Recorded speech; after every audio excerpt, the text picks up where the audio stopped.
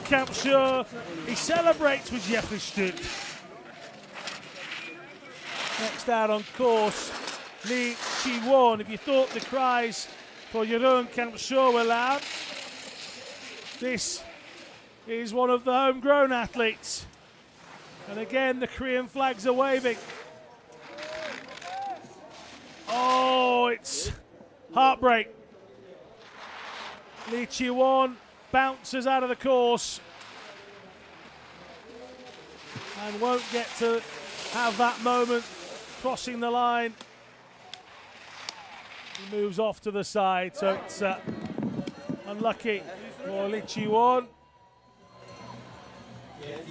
Kenji Natsume.